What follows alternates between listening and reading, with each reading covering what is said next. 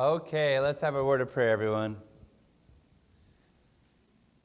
Father, it's truly for your glory that we've spent so much time these last few weeks studying these various areas of science and testifying, Lord. It testifies, it preaches and screams from the, from the rooftops, from the soil, from the skies, from the heavens. It just screams that this book that we call your word truly is your word. And it's not self declared, it's not just because the Bible says so, it's because it's proven all around us. And so, Lord, we ask for that same blessing this evening to help us this one last time.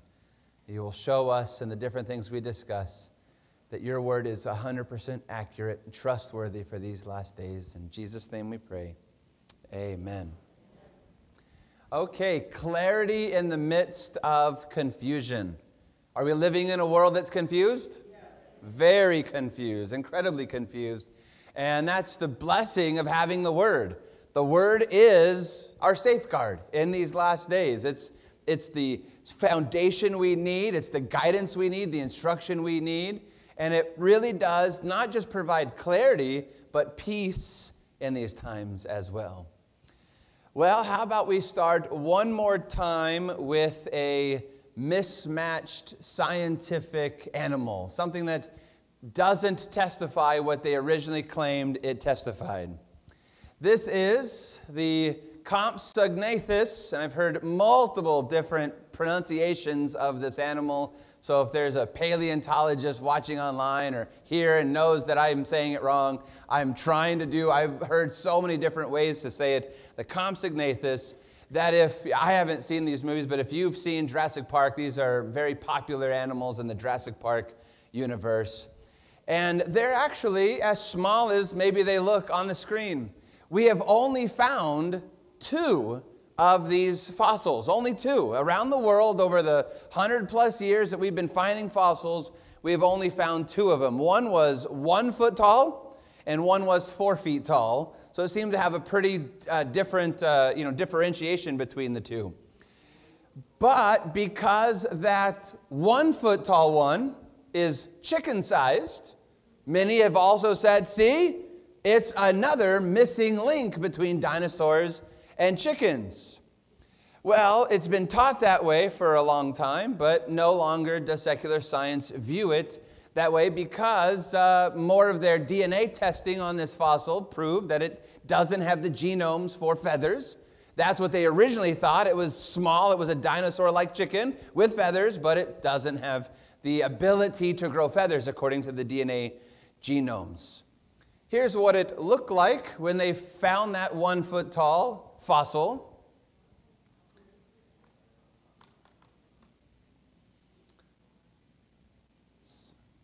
Sorry, my computer's been freezing up on me all day long. So they found this uh, one foot tall one, and I want you to notice how it's, uh, you know, how it was, how it died.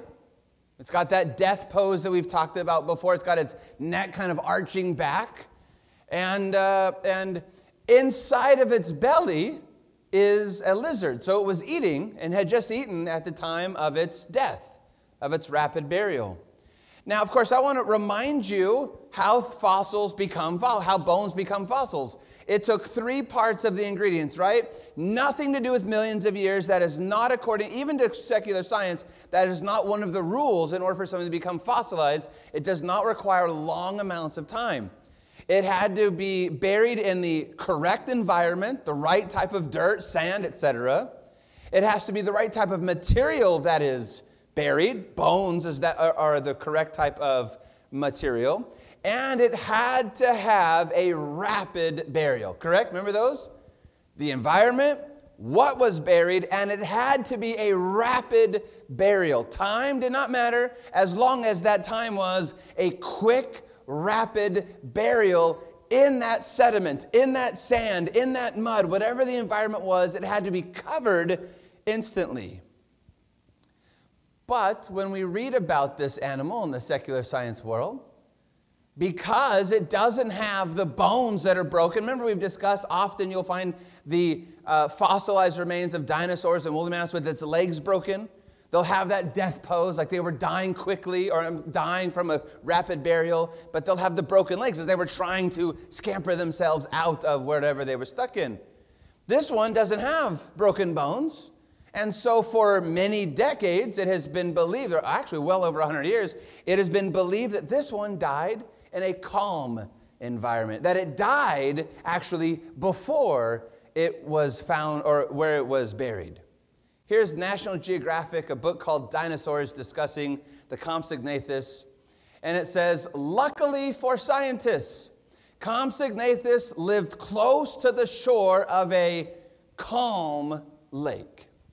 After death, the, body, the animal's body sank to the bottom of the lake, and the calm waters ensured that the bones were not broken up before fossilization could begin. Does that sound like the type of the, ingred- the ingredients that we need for fossilization? That it fell into a calm lake and sank calmly to the bottom, and it sat there for what they say is millions of years at the bottom with the calm waters. If you have an animal that has died on the ground, or in an ocean, you're going, or in, in a lake, you're going to have predators who come by, right? And they're going to clean the earth. They're going to eat it. And that's part of the reason why rapid burial is so important. You have to be able to leave it preserved the way it died. It has to die quickly, be buried quickly, because the elements are going to attack it the sun, the wind, storms or predators are going to eat it and rip it to pieces. So it doesn't make any sense. So when we go back and look at this, it doesn't make any sense for it to have died in a calm way, in a calm lake, sitting through the calm waters.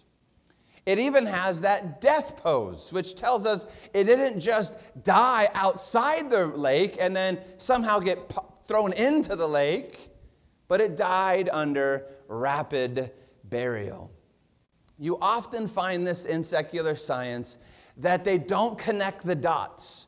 What might be true for this thing might be true over here, and might not be true here, and might not be true here. And they kind of pick and choose as they go what rules are what rules, and which works here and which works there. They're pickers and choosers when it comes to the evidence. You often will find that. They'll do anything and everything they can to try to prove that things will die without the rapid burial of the global flood. So, what would happen if the dead body sank to the bottom of a calm lake? That's not rapid burial. That's not the process of fossilization. That's just dinner for one of the other fish, right? Think about all the animals that must have roamed this earth prior to the flood. I mean, we're talking, I don't know, millions, hundreds of millions, maybe billions of animals all over the world roaming this world. And yet, we don't have, in that great number, we don't have a whole lot of fossils. John Pickrell, the BBC geology writer and editor, said this less than one tenth of 1% of all species that have ever lived became fossils. So think about all the animals that died at the flood, they did not all become fossils. It had to be very particular reasons. It had to be the right environment, the right kind of structure, and it has to include rapid burial. It's the only thing that makes sense. They have to die quickly, preserving their body from decomp- decomposing from the elements. It's incredibly rare for something to become a fossil. And so when we find these fossils, they have to then, they all teach us the same story. We don't have to pick and choose the evidence. They all actually end up teaching us the same story that there was an event many years ago in which these animals all died under rapid burial. Sue Beardmore, a taphonomist, remember taphonomy is the study of fossils and the, and the burial of bones. Taphonomist at Oxford University Museum of Natural History says it's really a question of maintaining a good condition of the body after death, long enough to be buried under sediment and then altered physically and chemically deep underground to become a fossil. Can something then, according to the taphonomist, become fossilized because it died outside a lake and then it got thrown into the calm lake and calmly drifted down to the bottom and settled there for millions of years by calm waters? That's not it. That's not, the, that's not how things become fossilized. It has to be, they have to be buried physically and chemically deep where? Underground, under dirt, under sand, under mud. So the fossils we do have all prove that there was some event, not just of water, but something happened on this earth that rapidly buried animal life around the world. Where do we find fossils? Around the world. So something happened around the world that buried them under earth, under mud, under soil. So the Compsognathus did not die the way they say it died, even though, yeah, okay, so it doesn't have broken legs. It doesn't mean it died in a calm lake and calm waters. That's not the recipe for fossilization. Do we have an event then in this book that would bury animals rapidly under dirt? Yeah. Sometimes when we think about the flood, we forget about the physical uh, explosions that took place on the planet. It's not just water, it wasn't just rain. There was natural explosions coming up out of the earth. And as those explosions of all the fountains of the great deep all that dirt, all that soil has to go somewhere. And a lot of it landed on top of these animals and beings, or, of animal life, and there was rapid burial. Tonight, we're going to talk about plate tectonics and the rapid movement of our continents, the rapid movement of our land. Does that fit with rapid burial? You've got all this I don't know, billions and billions of pounds of sand and dirt moving all over the world, a lot of things are going to be rapidly buried, correct? Did that happen? Genesis 7 11 and 12. In the 600th year of Noah's life, in the second month, the 17th day of the month, on that day, notice, all the fountains of the great deep were broken up and the windows of heaven were opened. And the rain was on the earth 40 days and 40 nights. So again, it's not just rain, wasn't just water from the sky, it was water from the sky and water bursting up out of the ground. Imagine the rocks, the dirt, the land that would have been blown sky high and then landing down all over the earth rapidly burying all kinds of animals for us to find all these years later. Science is desperate, again, to show that there's any other option other than the Bible. The leading idea is, as we've discussed, the, uh, the, the comet or the asteroid that would have hit the Yucatan Peninsula, causing you know, a lot of, a lot of uh, water and things and dirt to fly around the world and to kill off all the dinosaurs we discussed a few days ago how that they believe it could have taken up to two years for them to die. But outside of that, there are some secular scientists who agree with another idea of what caused all the dinosaurs to die off in a mass extinction, and that's constipation. They'll believe anything and everything as long as it won't agree with this book as flowering plants started to appear all over the world. We've talked about that. The angiosperms, they must have gone crazy and went, woo, look at all the new food. They started to eat all this green and all this, you know, all this veggies and things. And then, oh, their digestive tracts weren't ready for all those greens. And mass constipation all over the world killed off the dinosaurs. Anything but the Bible. They don't have clarity in the midst of confusion. They find these things in the earth, They won't agree with the Bible, and that automatically leads them to confusion. And they can't figure out what's going on. I mean, what kind of event would have caused this animal, an ichthyosaur, to fossilize that exact way? Now, if you're looking at it, you don't know what that is. There are two fins up front and a tail in the back. Those aren't four legs. What's hanging off the bottom of that ichthyosaur is that it died instantly, rapid burial, while it was giving birth. That is a baby halfway out of the birth canal. The, I was just going to say, how rapid do you think that was then? That's incredibly rapid. The fountains of the great deep exploded, and much of the animal life buried instantly, but it still had to have just the right ingredients to fossilize for us to find. Science, many in science say it was an extreme climate event. Would you call a global flood an extreme climate event?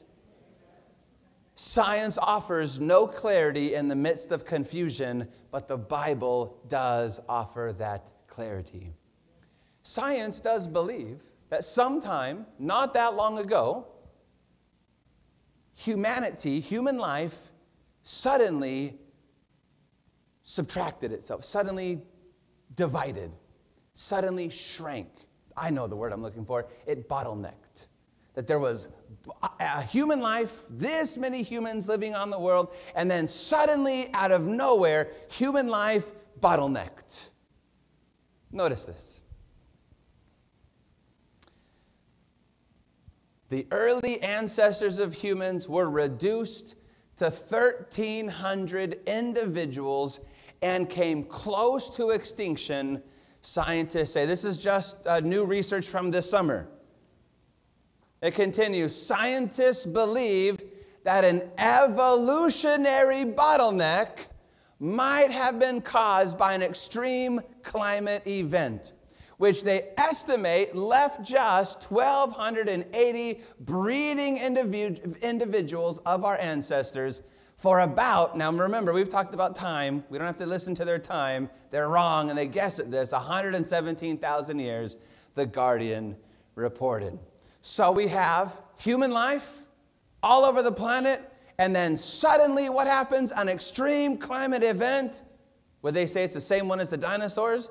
Oh no, dinosaurs and humans couldn't live at the same time. They're 66 million years ago. So these are different global climate events, but it caused mass extinction of animal life back then, and then another one happened, and human life bottlenecked. We don't have to trust their numbers or their dates, but is there a story in the Bible which would include all of that in one story, where animal life suddenly, much of it was wiped off the planet, and humanity bottlenecked down from however many millions or even a billion antediluvians lived on this planet, and then it bottlenecked up, right? In fact, we've noticed that as they came off the ark, that they stayed together. They likely traveled to Gobekli Tepe, and then they traveled as the ice age set, ice age set in. They traveled down to modern day Iraq, and that's where the Tower of Babel story happens. And we've noticed that this includes the families of three main branches, right? Shem, Ham, and Japheth. We were able to link that those three families are in science called Homo sapiens, Neanderthals, and Denisovans, right? They see that we all come back from three main lines of, of ancient humans. We just call them the families of Shem, Ham, and Japheth. So, in the Bible story, you've got these three sets of families who now, this is 70 years later, so they're starting to procreate. There's many more than just the eight of them. And then the Tower of Babel takes place, and what happens after the Tower of Babel? They split. They separate. They move, they move, they move. And we followed their migration patterns. The family of Ham moved south to Africa. The family of Japheth moved north to Europe. And the family of Shem, many moved towards the east, including some who crossed the Bering Strait, right? Notice they're saying some global extreme climate event took place and humanity bottlenecked.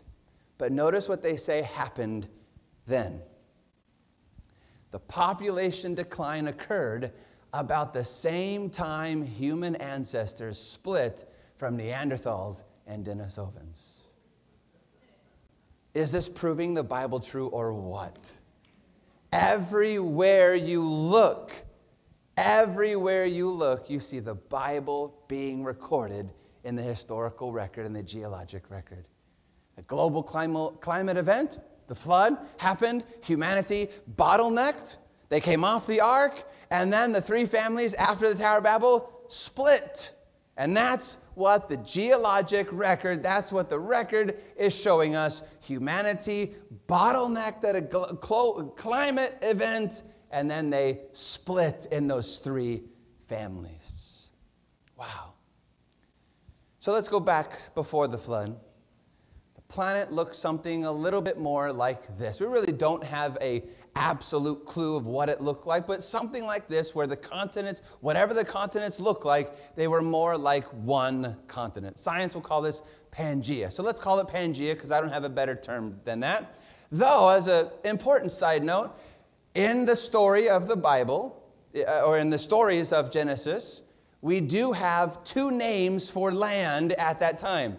We have Eden, of course, right? The Garden of Eden. And then we have where um, Cain went, and that's called the land of Nod.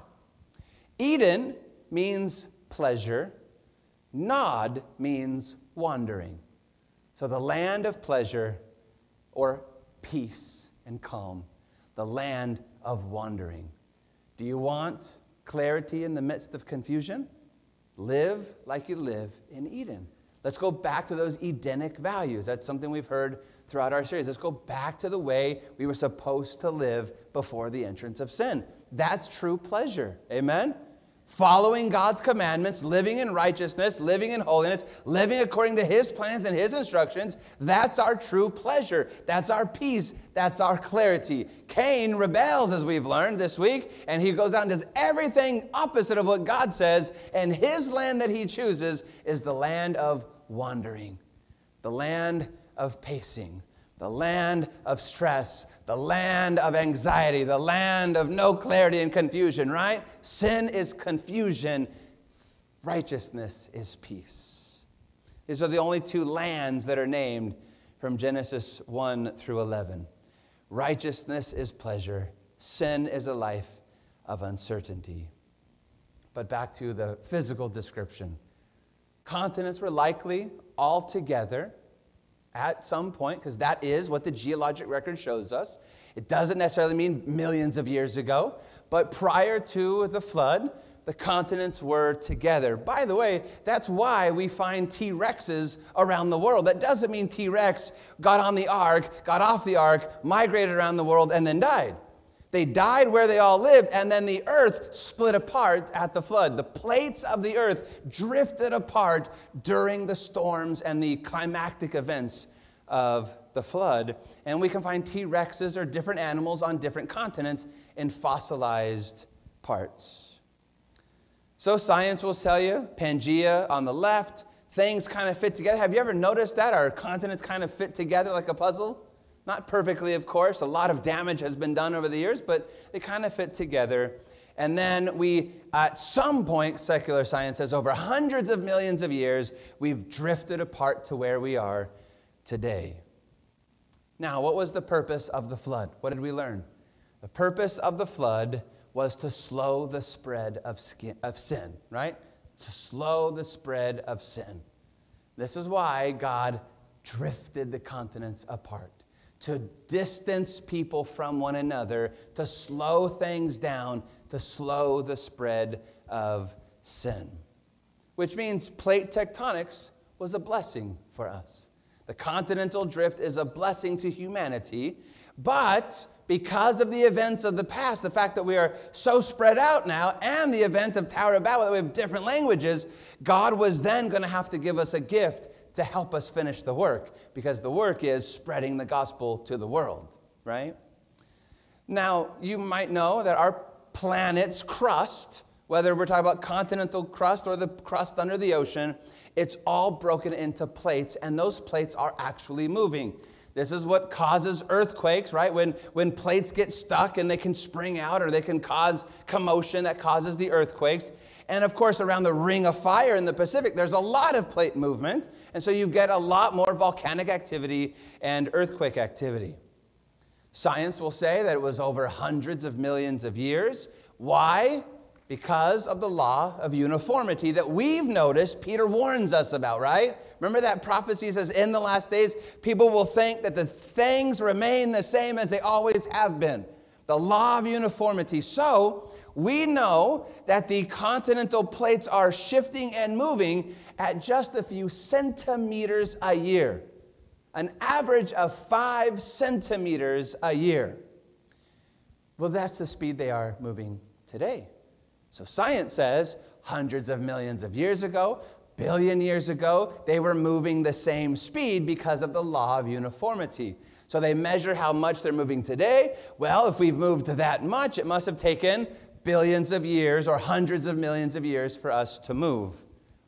Unless, of course, there was an event that happened that would have caused things to move a whole lot faster. Hmm.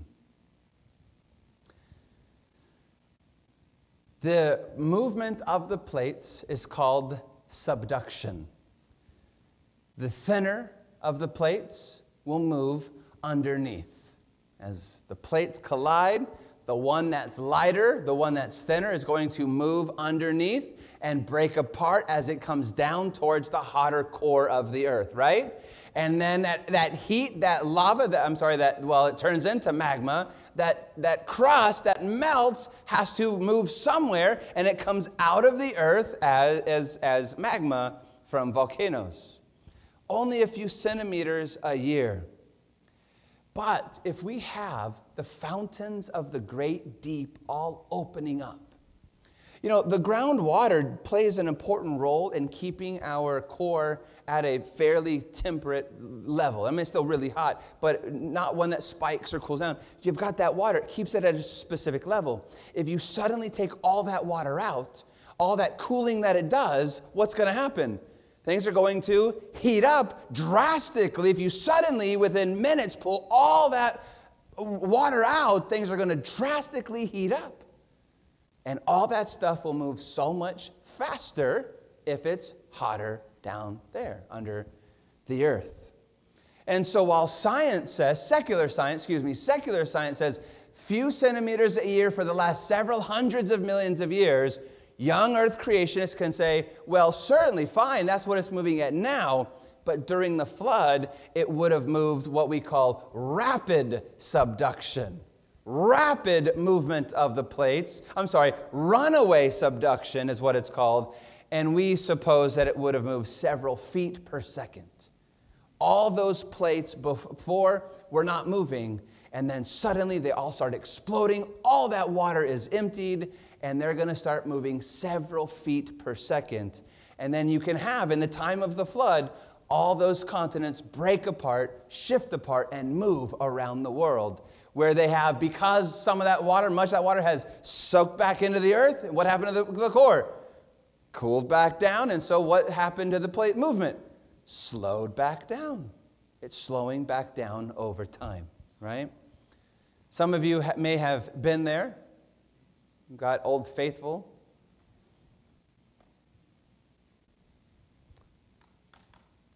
Old Faithful, and what do we have here? Hot water bursting up out of the earth, right? Very hot water bursting up out of the earth. But imagine now, that's just one geyser. All the water under the earth exploded out all at once.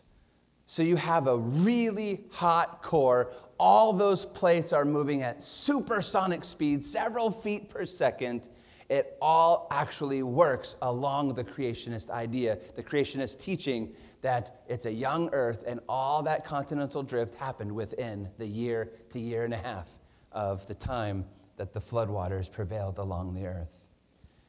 But there's a reason, there's a bigger reason actually why I want to study this and discuss this. It's not just so much the plate tectonics, it's what the geologic record shows us the world was like before plate tectonics. Secular science will say a billion years ago, long before plate tectonics started, uh, the plate started to move, there was a time period when there were no plate tectonics. The plates, there were no plates.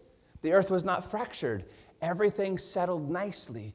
And in fact, you'll see that these this straight line across, there is a this is secular science now, a billion year period where everything was perfect on the earth that all the natural cataclysms that we have, the terrible weather patterns, the earthquakes, the volcanoes, the extreme temperatures, the extreme heat, the extreme cold around the world, all of that is caused by plate tectonics. And there was a time in this earth, on this earth, before the plate started to move, that everything was perfect. Secular science calls this the boring billion. The temperature around the world was stable, same kind of temperate, beautiful weather everywhere on the planet. There were no storms at that time. CO2 levels were a lot higher, but stable. No tectonic plate movement, no volcanoes, no earthquakes. And that line again is the temperature in the tropics never moved. In other words, the geologic record says that before whatever the event was that caused the plates to start moving, the world was perfect. Does this also testify that this book is true? How much more evidence do we need? Because before the flood, the world was made perfect. This is the end of creation, Genesis 1:31. Then God saw everything that he had made, and indeed it was very good. God made it perfect. No, it wasn't a billion years long. It was about 1,500 years, in fact, 1,500 years from creation to the flood. 1,500 years, the world was perfect. The people weren't. Society wasn't. We're talking about the plan, planet. It was perfect in the way God had made it. What has caused everything we suffer from now in the natural world? The flood results are still happening, and one of those results are the plates moving under the earth. They cause a lot of trouble for this world. It has put the world on a timeline to destruction, which, hey, is good news if we believe in the word because it says a new earth will be made for us. Amen. So when they came out of the ark, they really did come out into a whole new world. And we've talked about the harsh environments, the harsh realities. This is why society, science, culture does a massive reset, right? This is why the record shows that they were used primitive tools. They had no idea how to live on a world like this. It was a whole different world before the flood. This was all new to them. They had to come up with things that they never had to think about before. They never dealt with heavy winds and extreme heat or extreme cold. They probably never needed jackets or air conditioners, right? Pastor Phil, if they were technologically advanced, why don't we find their air conditioners under the earth? They didn't need them. They had a whole different world. Everything was cared for them by the planet. They came out, even as they, as they emptied the ark, what did they see? A mountain range like they'd never seen before jagged cliffs, canyons, and valleys. They had never seen this kind of thing before. They came out into a whole new world, broken apart, land all around the world. And as we've noticed in this series, that's why God would spread people out after the Tower of Babel, because he made the promise. Moses writes that the world was full of people. And now that we came and we explored the world and we find people on islands all through the Pacific and we find indigenous people in the Americas and all over the world, we're like, wow, God was truly honest. People lived all over the world after the Tower of Babel. Let's catch this verse Genesis 10 25. This is the genealogies of, uh, of, of Noah's family. To Eber were born two sons. The name of one was Peleg for in his days the earth was divided, and his brother's name was Joktan. I have noticed that there are a lot of young earth creationists who point to this verse and they say, See, Moses knew about continental drift. The earth was divided. However, I don't quite buy that. I think this is speaking about the next time that we're, the next story that we're going to discuss when the earth was divided socially. Just imagine now if it happened, Peleg is about 50 to 70 years after the flood. Imagine if people are now populating the earth, they're starting to, you know, procreate and grow homes and I mean build homes and grow farms. All of a sudden the earth starts moving several feet per second. You think that happened? No, no, no, no, no. The continental drift took place during the flood. What happened then that caused the earth to be divided? Peleg was the descendant of Noah alive at the time of the Tower of Babel. He was the great, great, great grandson of Noah, and he lived, or, you know, roughly, uh, he, he was born about 70 years after the flood. Let's keep reading. These were the families of the sons of Noah, according to their generations, in their nations. And from these, the nations, not the earth, not the dirt, the nations were divided on the earth after the flood. So the earth was divided, the physical planet was divided during the flood, but the nations, the people, were divided after the flood, after the Tower of, ba- of Babel. This is runaway subduction of cultures, right? They quickly migrated out around the world as God had purposed them. So, if that's the final story of Genesis where all the world shares the same information, and if we have tested these stories, we have found Garden of Eden stories around the world. We have found Adam and Eve type stories around the world. We have found creation stories from around the world. We have found feathered serpent stories from around the world. We have discovered flood stories from around the world. What then should we find when we look at Tower of Babel stories? Stories similar to that all around the world, proving yet again Genesis 1 to 11 is our shared history. No matter our ethnicity, our people group, it's our story right there.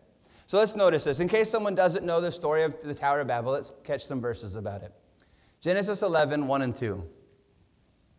Now the earth, now the whole earth, had one language and one speech. And it came to pass as they journeyed from the east that they found a plain in the land of Shinar, and they dwelt there. Let's keep reading. Verse 4. And they, that's, that's the people, and they said, Come, let us build ourselves a city and a tower whose top is in the heavens. Let us make a name for ourselves, lest we be scattered abroad over the face of the whole earth. God had sent a flood, humanity bottlenecked, and God told Noah what? Populate the earth, right? Spread out over the earth. People came off the ark a few generations later, many of them not following God's ways. God says, spread out. What do they do? Let's stay huddled together. Let's stay huddled together. God said, I won't flood the world again by another, by another you know, global flood. And what do they do? Let's build a tower to protect ourselves, save ourselves, and let's go study the sky. Why did all those things happen? Let's go study the sky. This was secular scientists in ancient times. There's no God. There was no God who caused the global flood. Let's find out why it naturally took place. They were denying the promise of God. God had just reset the earth to slow the spread of sin, and they were living for open rebellion against him yet again, the nature of mankind. So they built the tower as a sign that they were rejecting God, and what? They lived in confusion. Why the flood? Will it flood again? Is there a God up there? Since there is no God, what do we do? How do we protect ourselves? They were living in confusion. And so God came down and confounded their language. He split them into people groups based on language because it was a symbolic gesture. They were already living in confusion. Let them be confused. They're now going to babble to each other. They won't be able to understand each other because of the various languages that God created. All languages in the world, by the way, we can trace back to 68 or to 75 languages. So that's probably how many languages God created there on the spot at the Tower of Babel. You can trace it all back to about 70 nations at the time. I want you to know that it's perfectly okay to have a tower in these times of confusion. Not the Tower of Babel, the Tower of confusion, but a tower of peace. You know, it is okay to have a tower. Notice how we should have our tower. Proverbs 18:10. The name of the Lord is a strong tower. The righteous run to it and are safe. Amen. We can have, if we follow this word, we can have our clarity in the midst of confusion. We can have that peace if we run to Jesus. How different would history be if Adam and Eve had done such a thing? Right? And listen, it was just two people, so don't count yourself out. What's the big deal if I don't today? You never know what your rebellion or my rebellion can cause on a global scale. Just think about what's happening right now in Israel. Right? What's happening in Israel? You've got two people claiming to have the right to the land. And you could make an argument for both. But why could you make an argument for both? Because Abraham sinned, right? Because of one sin, one time sleeping outside his marriage, one act of adultery, and look, thousands of years later, we have innocent children being slaughtered on the streets. So don't ever think one sin's okay. This little bit's okay. You never know the act of one sin on your descendants and the generations to come. Run to the Lord, our strong tower. Flee to him in times of temptation. Psalm says this Psalms 20, verse 7. Some trust in chariots and some in horses, but we will remember the name of the Lord our God. Run to Jesus. Don't trust in the things of this world.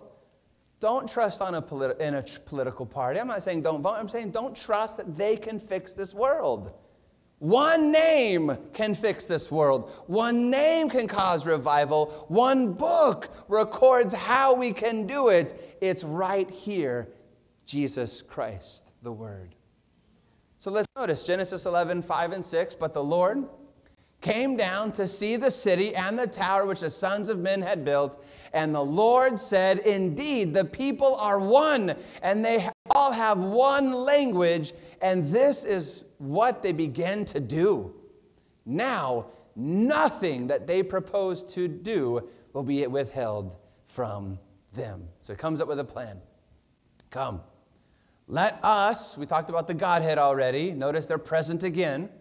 Let us go down and there confuse their language, that they may not understand one another's speech. So the Lord scattered them abroad from there over the face of all the earth, and they ceased building the city. Therefore, its name is called Babel, because there the Lord confused the language of all the earth, and from there the Lord scattered them abroad all over the face of all the earth. So, key parts people uniting together under one language, rebelling against God, God destroying their tower, taking their tower from them, confusing their languages, and spreading out over the world. Those are the ingredients of the story of the Tower of Babel. And if it's true, we're going to find those ingredients in cultures all over the world. We can start in Mexico. We're going to go around the world and we'll end back in Mexico. According to the Dominican friar Diego Duran, he was told the story by an ancient Aztec elder that the pyramid of Cholula, uh, of Cholula, which you see here, which by the way is larger than the pyramid of Giza in volume, was built by an ancient race of giants. They searched the world for the gods of the sun, and when they couldn't find gods here on the planet, they decided to build a massive pyramid into the sky to see if they could challenge the gods up in the sky. That angered their God, who scattered the giants around the world and demolished their tower to just the remnants we see today. Come here to Arizona, the Tohono O'odham nation. They have a story about Montezuma, not the Aztec ruler, but their god was named Montezuma, who helped them escape a great flood. Then, after the flood, they still chose to be wicked and they attempted to build a house reaching into the heavens to challenge the Great Spirit. When the Great Spirit saw them building this house into the heavens, he destroyed it with thunder from heaven, and they ran from him by scattering around the world. We can go to the Sumerians. They have the story of Enmerkar and their lord of Aratta. Their story is that Enmerkar decided to build a large ziggurat building, and he asks the gods, we talked about the Anunnaki uh, the other night, he asked the gods of the Anunnaki to disrupt the languages of the people. There were too many people in the ziggurat. Too many people lived there, and he wanted to get rid of some of the people. And so he asked the gods, confuse their languages, and they will spread out away from here. The gods agreed, and so they scattered the people by confusing their languages, and only this ziggurat was left there in uh, Sumeria, which of course would be the land of Babylon. The Greeks and the Romans actually share the exact same story, like much of their stories and their legends. They just replaced the names, right, from the Greek gods to the Roman gods. Uh, the Roman poet Ovid is probably the most well known. They share the story that the Titans, remember, those are the giants in, in the land, according to the Greeks, the Titans stacked mountains on top of one another, trying to study the house of the gods up in the heavens. When the supreme God saw Zeus in, in one, you know, one and Jupiter in the other, when the supreme God saw them stacking it, he demolished them by lightning from heaven, and they all fled to the world around them. We can go to Africa, where we have a story uh, from a tribe in Botswana near, near Lake Ngami. A doctor you may have heard of heard this story from their elders, Dr. Livingstone, I presume. And he writes this story down that, that they had a large tower that they built into the heavens. But at the end of that story, the gods are angered by them building the tower, and they cause the building to collapse, and the people get scared, and guess what they do? Scatter over the rest of the world. The Lozi people of Zimbabwe teach a story of wicked men who built a tower of masts to pursue the Creator God in Nyambe. They wanted to study more about the Creator God. When he discovered what they were doing, he caused the tower to fall. Many people perished, and then the people who were scared of him spread and ran away around the earth. You can move to the Karen people of Burma, Indochina. Their ancestors are said to have migrated to that area after they abandoned a great pagoda that was built into the heavens by a people rebelling against God. And when God heard their rebellion, He changed their languages, confused their languages, and people scattered around the world. We can even go into the South Pacific, the Admiralty Islands just north of New Guinea. They tell the ancient story how all of mankind spoke one language at one time. But when they attempted to build houses reaching into the heavens, the gods punished them by changing the languages into multiple languages, and people scattered around the world. Are you getting bored? Are you hearing the same story over and over? Same story over everywhere you go. Then we'll come full circle back to Mexico.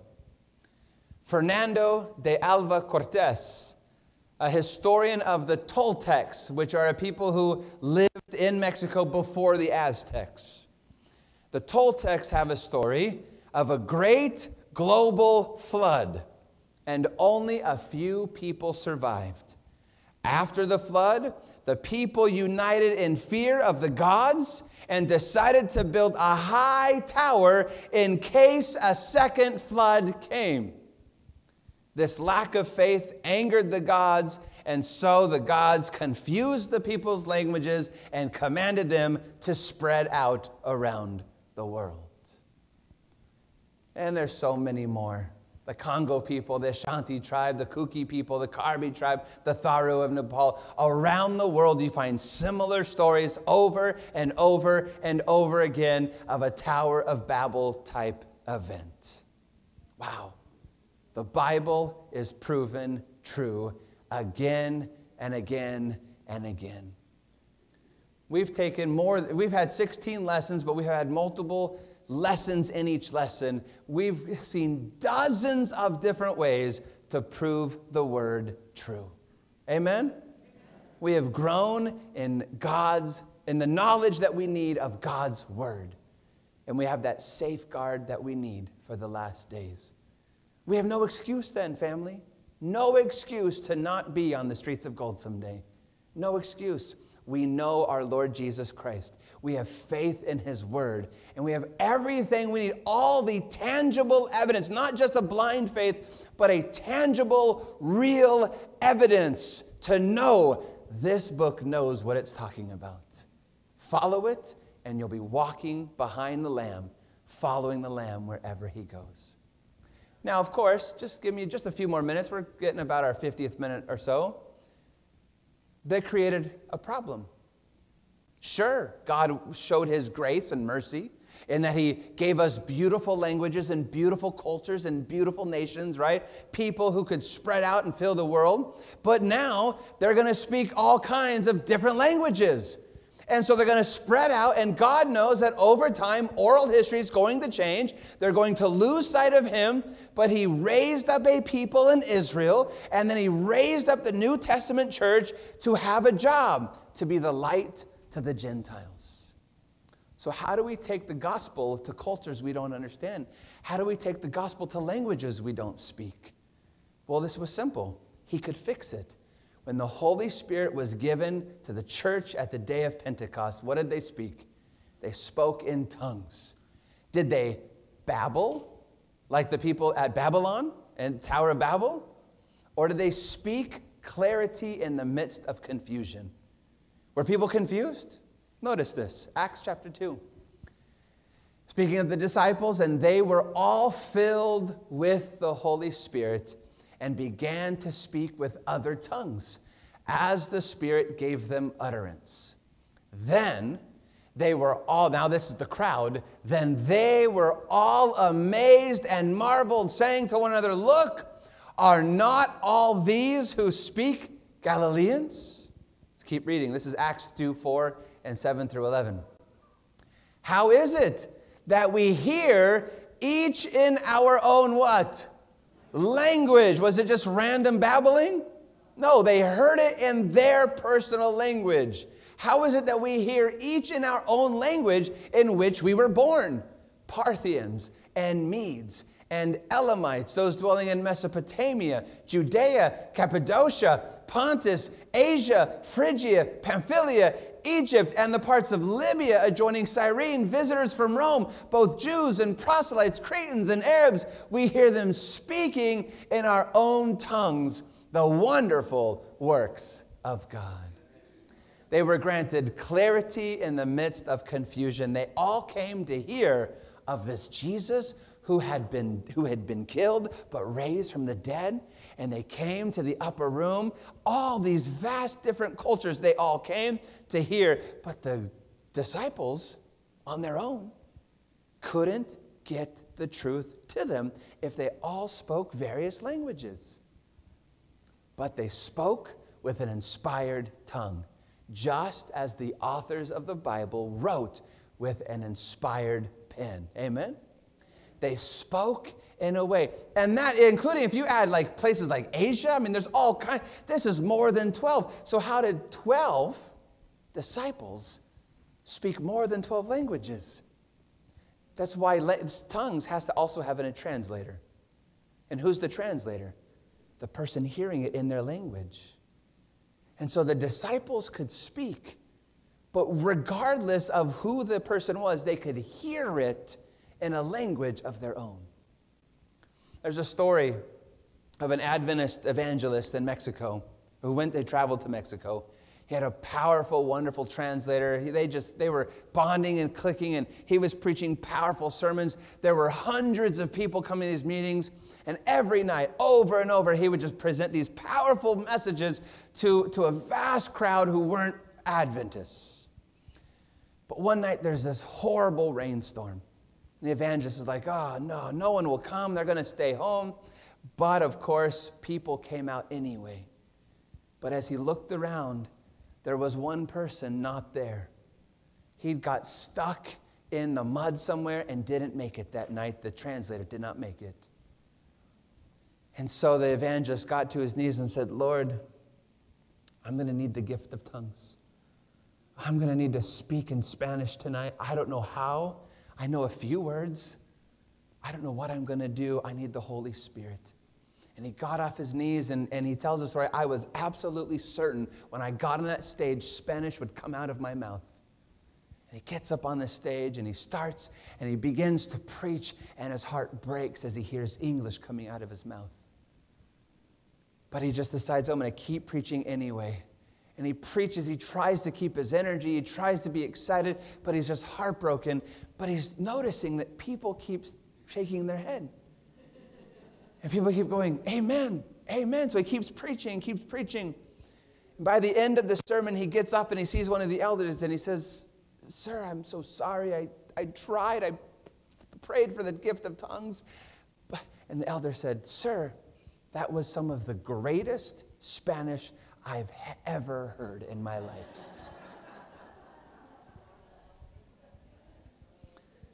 to fix the confusion of Babel, God gave us the gift of tongues to preach the gospel.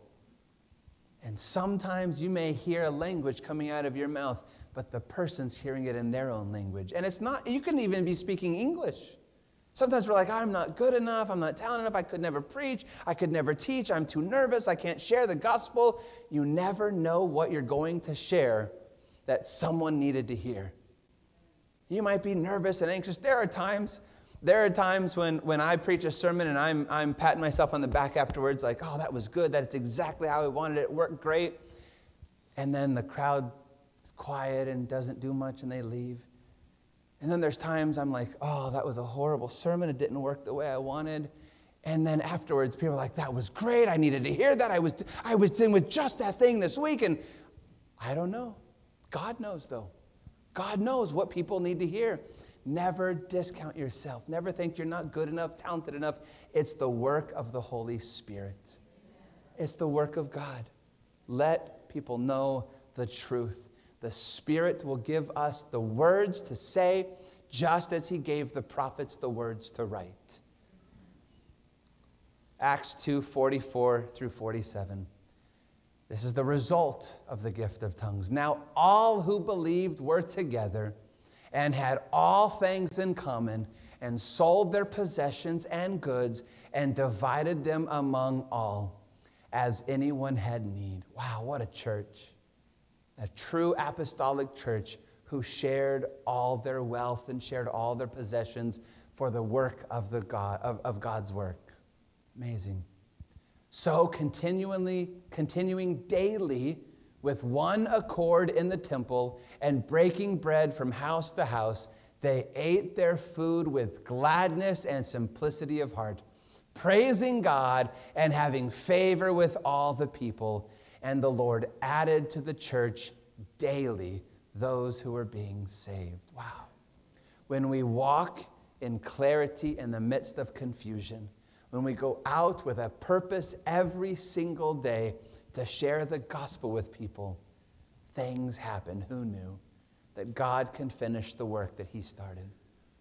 And He can counter the work at Babel. He created beautiful languages, but with the gift of the Holy Spirit, He can finish the work through us. Our last verse of our series, Deuteronomy 32, verse 4. He is the rock, His work is perfect for all his ways are justice, a God of truth, and without injustice, righteous and upright is he. I hope as you've come, that's what you've heard and what you've experienced and what you are convicted is 100% truth now. It's no longer faith anymore, it's knowledge now. We know that our God is a God of truth. We know this book is accurate. We know we are safe to follow it. And we know that our Jesus is coming soon. Amen. Amen. Let's pray. Father, we conclude our series, but don't stop your work. Continue to convict us, continue to share with us, continue to help us mature and grow.